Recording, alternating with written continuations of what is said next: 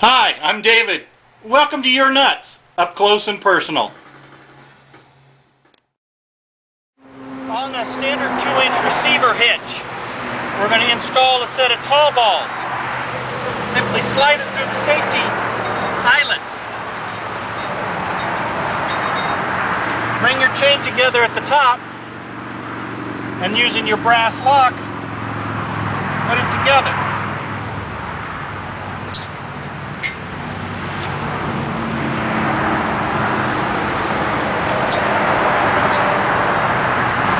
There you go, tall balls. Stubby nuts. We've cut the top off so that they're stubby. So they fit flush up underneath a mounting tube or the chassis or wherever you're mounting them. Pretty simple to mount them. You simply just introduce the chains through the safety holes.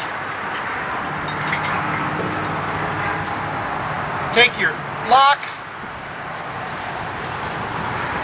Cinch it up good and tight.